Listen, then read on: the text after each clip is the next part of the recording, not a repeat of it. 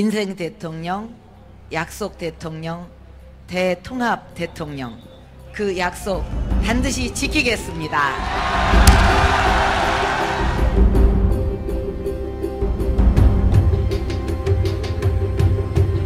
대통령으로서의 직책을 성실히 수행할 것을 국민 앞에 엄숙히 선서합니다.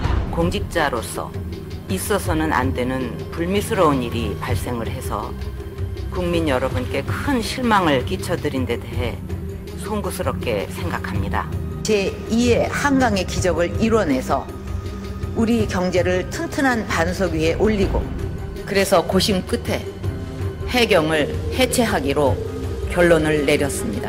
청년 일자리 문제를 해결하는 것이야말로 우리 사회를 건강하게 만드는 토대이자 저로서는 좀 더 꼼꼼하게 챙겨보고자 하는 순수한 마음으로 내가 이러려고 대통령을 했나 하는 자괴감이 들 정도로 괴롭기만 합니다.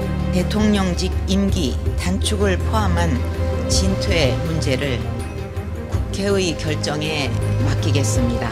피청구인 대통령 박근혜를 파면한다.